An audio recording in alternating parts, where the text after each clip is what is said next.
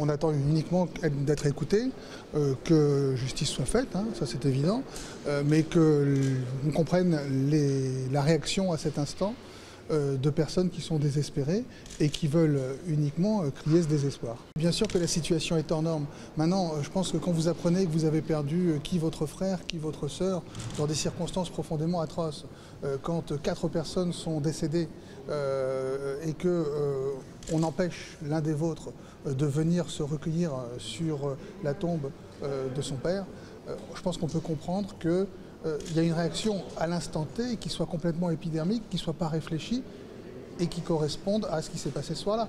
La colère, c'est dans nous. C'est même pas la colère, c'est la, douleur qu'on a. Mais si on est convoqué au tribunal, on doit au tribunal euh, normalement, comme tout citoyen qui est convoqué à un tribunal.